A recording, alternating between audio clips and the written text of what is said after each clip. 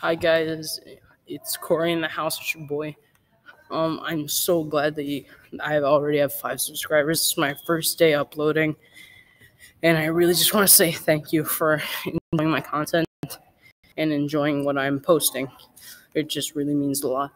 And um, I'm planning on doing a collab with another starting off YouTuber, uh, Benjamin Rogers, and hope to see that soon.